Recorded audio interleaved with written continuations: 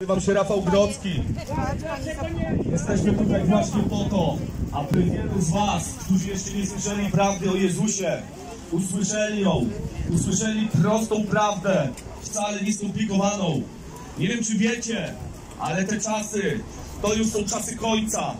I nie wiem, czy wiecie, ale Jezus powrócić może każdego dnia.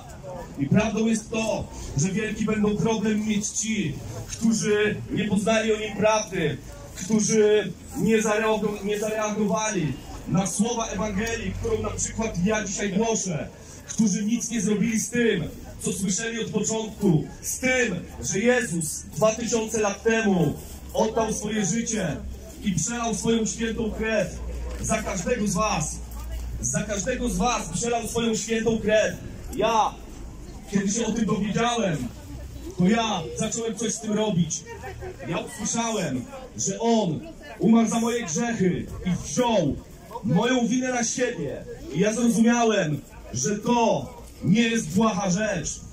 Ja przeczytałem, że bez uwierzenia w to, co On właśnie zrobił dla mnie, idę do piekła.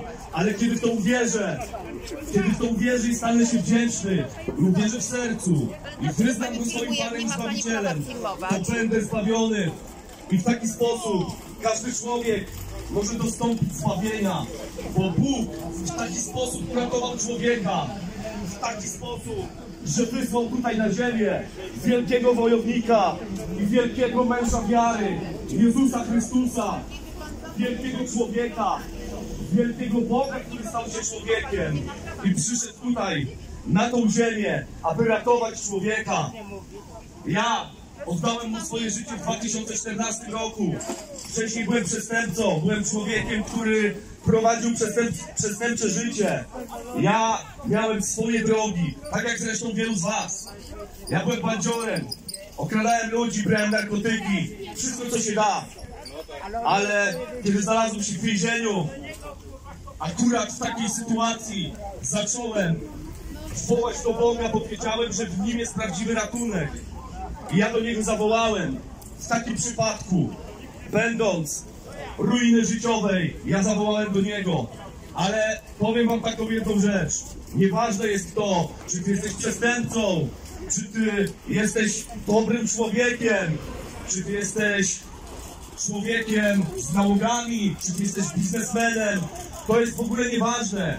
Ważne jest właśnie dla Boga to, czy ty przyjąłeś Jezusa Chrystusa, najpotężniejsze Jego dzieło w dziejach ludzkości wszechświata. Czy ty to przyjąłeś osobiście do serca? I czy ty w to uwierzyłeś? I czy ty stałeś się obywatelem nieba? To jest ważne. Każdy człowiek, choćby nie wiadomo jak uważał się za dobrego, zgrzeszył przynajmniej raz i brak mu chwały Bożej, przez to karą jest śmierć. Ale Jezus to rozwiązał. Jezus rozwiązał kwestię śmierci człowieka przez krzyż i przez to, co zrobił. Wiecie, oddał życie, oddał życie. Nie da się już na to zasłużyć. Nie da się zrobić nic dobrego, żeby zyskać sobie Bożą przychylność. Da się tylko uwierzyć w to, że to Jezus zrobił, to, co powinien zrobić, to, czego Ty nie zrobiłeś. Bo człowiek nie był w stanie zrobić nic, aby zyskać sobie Bożą przychylność i wejść do nieba. I musiał przyjść Jezus. I On przyszedł i zrobił robotę. I ja jestem Mu za to wdzięczny. Jestem wdzięczny za to, że nie muszę iść do piekła. To jest proste. Jestem wdzięczny za to, że On zrobił to dla mnie osobiście. To jest sens mojego życia, że idę do nieba, że Jezus zrobił to dla mnie i że już nigdy nie zobaczę śmierci. I to jest takie proste i to jest dostępne dla każdego człowieka. Lecz ludzie potykają się. Ludzie właśnie o tą prawdę się potykają. Wiecie w jaki sposób? Próbują sobie zasłużyć. Próbują być dobrzy, bo myślą, że Boga obchodzi to, że On jest dobry. Nie jesteś dobry, jeśli nie uznałeś Jezusa jako Pana i Zbawiciela. Nie jesteś dobry i idziesz do piekła. I musisz się pogodzić z tym, że idziesz do piekła. Jeśli nie przyjąłeś w 100% tego, co zrobił Jezus, Jeśli nie zrozumiałeś, że na to nie da się zasłużyć, to jesteś w złym miejscu. Każdy człowiek ma otwartą drogę do nieba, bo Jezus ją otworzył. Ale nie każdy idzie tą drogą. Bo religia stworzyła system rytuałów, zasługiwań, różnych rodzajów wykonywania różnych czynności.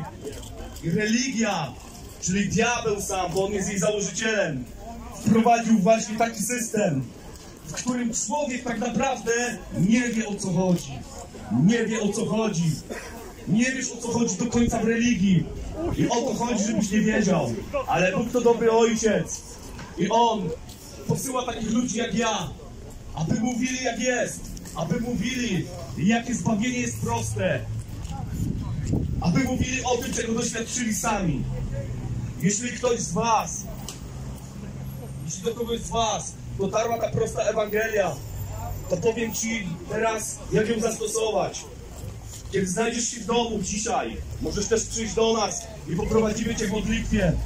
Ale kiedy, jeśli się wstydzisz, to ja Ci powiem. Kiedy znajdziesz się w domu, wejdź do pokoju i zamknij się tam. I zawołaj do Jezusa. Powiedz Mu, że przepraszasz za, za to, że Ty żyłeś bez Niego, tak naprawdę. I że Ty próbowałeś sobie zasługiwać na Jego przychylność. Powiedz Mu, że wierzysz w stu procentach w to, co On zrobił na krzyżu Golgoty. Powiedz Mu, że dziękujesz Mu za to, że dzięki Jego krwi idziesz do nieba. Powiedz Mu, że wierzysz w to. Powiedz Mu, powiedz Mu. I wtedy, jeśli Ty faktycznie ze szczerego swojego serca to zrobisz i ze, i ze szczerego serca staniesz się wdzięczny, to wejdziesz do nieba i będziesz zbawiony jeszcze dzisiaj. Ja mówię to jako człowiek, który wie. Ja wiem, że wiem. I dzisiaj, i dzisiaj przekazuję tą informację Tobie. Pojednaj się z Jezusem. Jest jeszcze jedna dobra nowina. Jezus na krzyżu Golgoty wziął wszystkie choroby na siebie. Jezus doznał na krzyżu 2000 lat temu każdej choroby po to, aby dzisiaj z każdej choroby byś mógł zostać Ty uzdrowiony. Zatem jeśli ktoś z Was potrzebuje uzdrowienia z czegokolwiek, to możecie tutaj przyjść do nas, a my położymy na Was swoje święte ręce i będziecie zdrowi.